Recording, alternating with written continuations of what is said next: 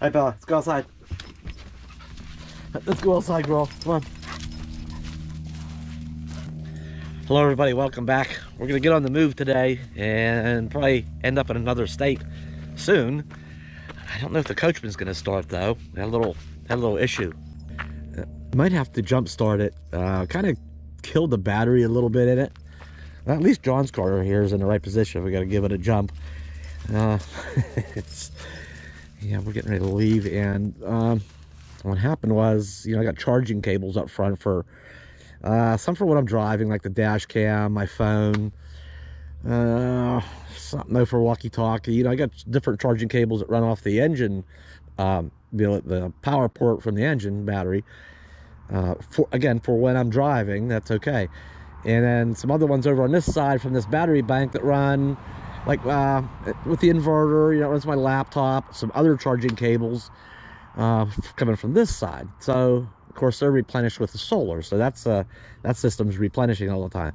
This is not if it hasn't been running a couple of days. So what happened was John's been running charging his phone and it's my fault. I gotta, you know, there's cables that go this way and that way and it's little nest, uh, rat's nest up here of cables really. You know how charging cables go. Uh, so John, we didn't catch it right right away. Like I say, it's my fault. And um, he's been charging his phone for a couple days on the off the engine battery.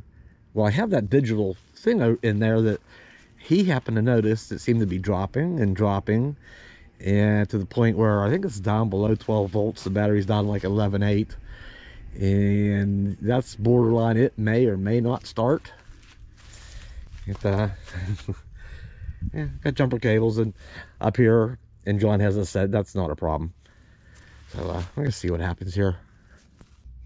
Here, let's go ahead and plug this thing back in and uh, see where it's at. It looks like it's recovered a little bit. Up to about 12 volts even. 12, 12, 1. It should start. Um, you know, normally full charge it should be about 12.7 or 12.8. So it's a little low.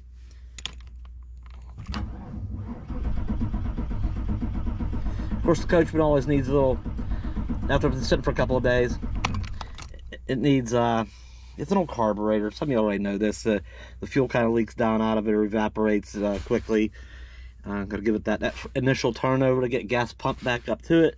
And I got to do a little trick here, pump the gas a few times, and, and we'll try it again. Should fire right back up.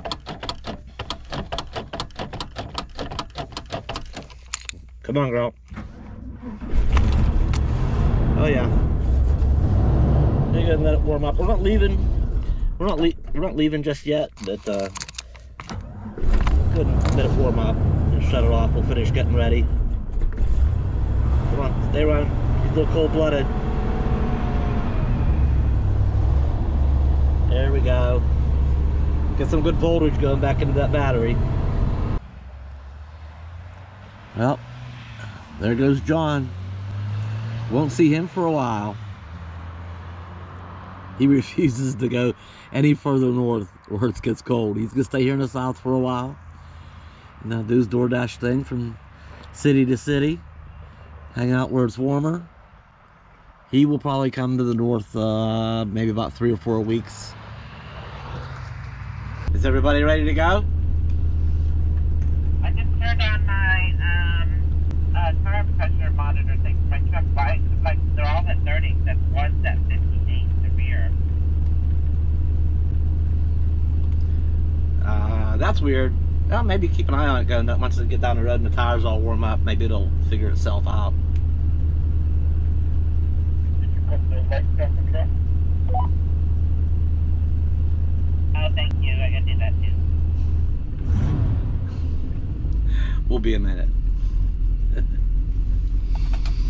All right, we'll take another uh, step or two to the north. Yeah, so we did end up a couple days ago coming back here to Honey Hill, and it's been absolutely peaceful and nice here. Uh, just the internet really, really stinks. Sometimes you get a little bit. Okay, I think uh, everybody's ready now. Uh, yeah, we might have to make a stop here today or one of these days pretty soon. It might be time to start doing some generator shopping for more than one reason. But uh, we'll get to that. I don't know if that'll be today, but that's going to be coming soon, I think. Well, this is a pretty dang nice ride through the country. as opposed to the interstates. We have like 30 miles to go.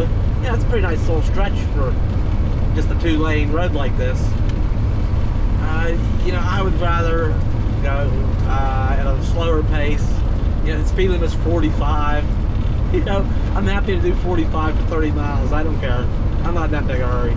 I'd much rather see, take these kind of roads and see, you know, like signs like yard sales or fresh eggs or local honey for sale or, you know, that kind of stuff. You just don't see that on the interstates, right? Uh, yeah, you get to snoop around a little bit more on these kind of roads. Uh, never know what you come across. Yeah, but I, I like this pace of travel so much better. Uh, you know, we'll do the interstates. We'll have our of that here uh, at some point. I'm gonna enjoy this while I can. Yeah, we did a little pit stop. Had to do a little tire check. I think one of Elijah's uh, tire pressure things had a hiccup. Thanks, Circle K, for just using the parking lot for a minute. Speaking of tire pressure, the uh, tires on the Focus are uh, doing okay. Supposed to be at 32, so yeah, just a just a little bit light. And the one on the uh, the Coachman, it's pretty dim. I, I don't know if there. I should look and see if there's a brightness setting. Uh, I I can read it, but it sure is hard for the camera uh, camera to read it. But uh, they're looking normal too. About 65 in the front, about 70 in the back, four tires. And that's also running a little lighter than I think I originally set them. I'll have to go top off all my tires one of these days here soon. It's not bad, but it's not my ideal setting. It's not where I actually like them. I think I set my tires at 70 in the front and 75 in the back. So I, I think maybe I set them at 65 and 70, but I think it was 70 and 75. So they might be down by five pounds in the four months we've been traveling. Uh, maybe I, I, just don't remember. Uh, anyway, they're good. They're good where they're at. Uh, at least for now, no crisis. But uh, let's go ahead and get on out the road here a little ways, and uh, let's just do that. I think our little ride in the country is about over. we're, gonna cut into a town and not much further. Uh, we over to Interstate 26. Uh, things tend to get a little busier over there. It's been a very relaxing drive here this morning. As we start heading up Interstate 26, it won't be long. We will be, we're getting close to the Appalachians. so that's gonna have a so much of a different feel to it. Okay, okay, GPS. That's gonna have such a different feel to it um, than what we've been tra how we've been traveling the landscape over the last few months. east for two miles. Yeah, getting into the Appalachians. Kind of excited, but yeah, start getting up in the elevations a little further north. You know, the trees will be more bare. They'll say, oh yeah, it is still on the tail end of winter. Oh, it's officially, it is spring. Uh, but it'll still seem like the tail end of winter a little further north. We're not far from that. And we just pulled into this busy Flying J. Got gas. Oh, it's nice the ones that have the RV lanes. They're it's not as congested as getting in the regular auto lanes and stuff. Just just easier. Pulled over here to the uh, pump out of the uh, dump station. Yeah, they got propane at this location, and the good old dump station taking care of that. The uh, it's nice this one you don't have to go in and pay. I love these outdoor automated ones. You just swipe the card out here, bang, it unlocks the cap. Away we go. Oh, oh, dummy me. you know, with the Flying J card, it's only $3 to dump. I think if I would have paid for it inside, uh, I don't know. It's too late. You know, I, I paid 10 bucks. This is the first automated one I've seen in a Flying J. I don't even know that's an option because there's no place, even if they gave you a code inside, there's no place to put a code. So I don't know how that would work. You know what? It's done. Tags are done. So be it. I hate when that happens. Dang it. All right, nothing left to do to except to fill the fresh water tank up and get seven gallons extra. And we'll be done. And we have to go park somewhere and wait till Aja or uh, Jeff uh, does his and Aja does hers. And we'll all be back on the road again. All right, we're done. While we sit here and wait, I did turn on the generator and the roof air is running. So it's kind of warm. Yeah, the air conditioner's not gonna run for a while. Here, a couple more days. Yeah. Yeah, we're going to the cold. Leaving the warm and going to the cold. Um, in past years, people have said, you're, you, you're, don't be in a hurry to get back. It's still cold up here. And I know, I'm from Pennsylvania. Lived there all my life. You know, quite a few years. I know what, I know what the weather's like in April, so, uh, oh, it's not quite April though. Oh, by the time I get there, it should be the first week of April, I think. So, uh, I know what, you know, I know what to expect. And I looked at the extended forecast up there, so it's just going from, it's actually quite warm to here today in South Carolina. And go up there where it's uh, not cold, but uh, cool to quite cool for a little bit. The weather's changing quickly, so it'll, I can't wait till May. What they say up there is April showers bring May flowers. So April showers, you know, the snow's pretty much, might get a, still a, a, a strange, a stray snow flurry, maybe, maybe a light frost, but um, not too much of that. It's it's wrapping up up there. Fine weather ahead. So in the meantime, we'll exercise the air conditioner a little bit, and then it'll get a rest for a short while.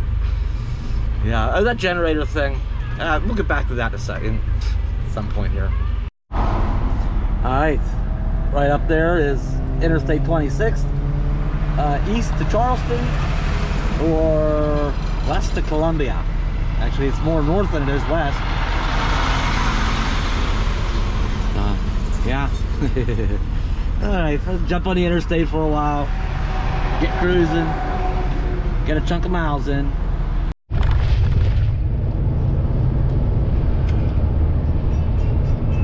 Turn left. I-26 West.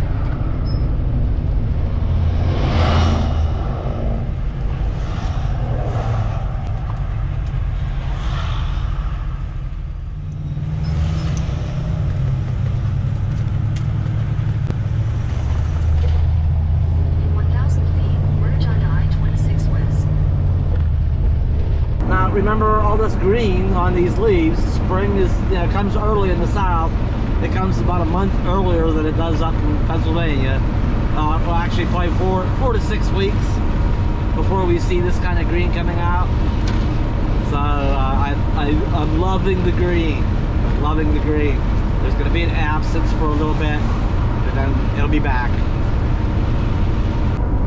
I don't think we'll be making it to North Carolina today. Uh, maybe tomorrow. I don't even know where this, how far the state line is. Uh, we got a little ways to go. That we're, uh, I think we're just gonna stop in Orangeburg. Yeah, hang out there for the rest of the afternoon and evening, and probably get back on the road tomorrow. I think our next stop will be we'll be starting to see some elevation. So I think we're only in the three or three to four hundred feet of elevation. And I think by the time we get up, I forget the name of the town now, we're like 1,500 to 2,000 feet. So we're gonna start seeing some elevation pretty soon. And with that, a little change in the weather. Yikes. All right, there it is, good old Cracker Barrel. Uh, I'm kind of hungry for a barrel, a barrel burger. I think that's what's for dinner tonight.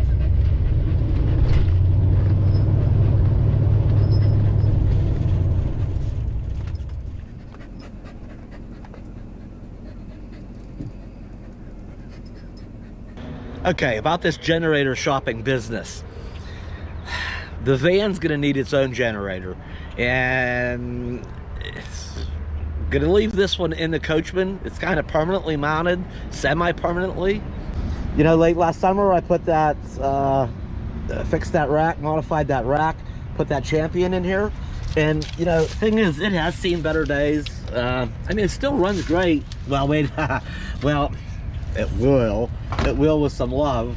I think it's due for uh, carburetor to be cleaned, a new fuel filter because it's starting to stumble uh, when it's on a light load. When I uh, do something like run the air conditioner or make a cup of coffee, when it's under a load, it smooths out. But on a light load, it just, you know, the the idle just up and down, up and down. So it, it needs it needs service. It is about due for an oil change. So this has worked out great. But uh, this generator I've had for hmm, I think just over 10 years now. It has been fantastic. I've only I've only actually about five years uh, ago I did have to clean the carburetor one time on it, and now it's been probably good for another five. And uh, I can just tell that's that's just a symptom. I, I know that'll clear it up, but I don't want to have to. It, oh yeah, and when I installed it, I you know I got that adapter and I run the uh, the exhaust out the side, and you know just strapped in there good. Um, I don't want to be taking it out, and it's not the easiest task. I mean, it's not bad. I have to just take a couple of bolts out. This whole thing pivot, that tray pivots down, and then it slides out some um, easier that way. You know, if I'm gonna take a trip in the van this summer and um, or then another you know week or so decide to take the coachman out uh, i don't want to be putting this generator in and out in and out anytime i switch vehicles. This is in there it works great it's going to be a permanent fixture in here but you know taking its age into consideration uh, it wouldn't hurt to have a backup generator anyway. So i'm going to get a smaller i think a 2000 or 2200 maybe a 2500 they're all the same uh, case same physical size but you know, if this one were to decide to say, "Hey, I'm done," like I say, it's been around. I've dragged this thing around the country a bunch. Um, I do have the backup one if this goes out, but hopefully, there's still this thing still has a lot of service left in it. Uh, but I don't, like I said, I don't want to be taking it in and out. We're gonna get a smaller one for on the back of the van, and I'll just have that, uh, yeah, for van usage, and we'll we'll just give this one some love when we get back. Uh, and I think it's gonna be okay. Now, I think I'm in a position where, you know, we're gonna be back to the garage in probably no more than two weeks. Uh, Certainly no more than three. We're close enough, and this thing's running bad enough right now. I should demonstrate it. um, like I said, just under a low load. But we're close enough to being back that I wouldn't be afraid to go ahead and pick one up uh, and Tractor Supply carries the champions. I think, I don't know if Lowe's does or Home Depot. I don't know if they carry them or not. I know Tractor Supply carries the champions. I'm thrilled with the champion.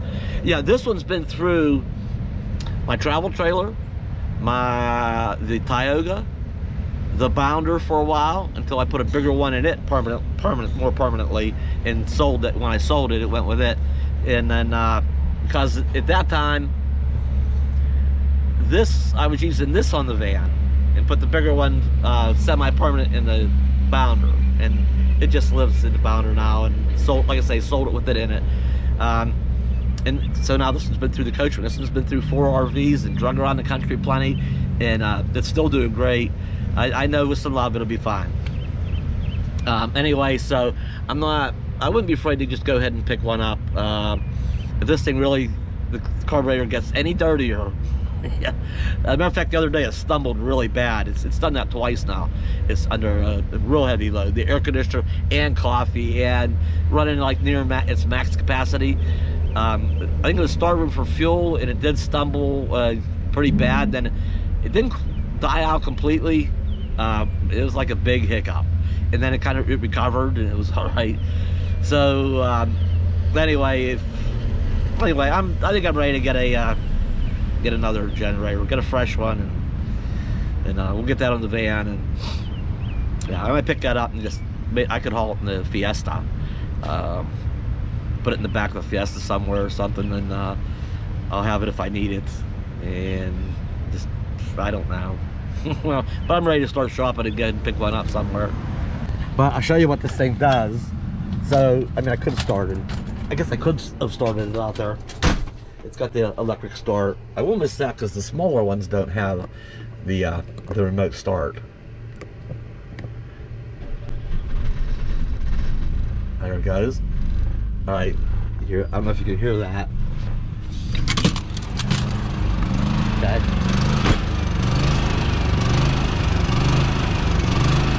So yeah, that's a that's a dirty fuel system issue. Um, when they kind of surge like that. So now what happens? What happens is now if I get a pot of coffee going here, just give me a second. Okay, I have I have my coffee my coffee pot ready to start. Okay, hear it? Stumble, stumble, stumble. Um, all right, let's let's turn this on. Okay, probably heard that from in here. See, I mean it works fine. Makes power. Runs smooth under a load. You just due for a tune-up. So anyway, that's what the uh, the whole generator uh, situation is right now.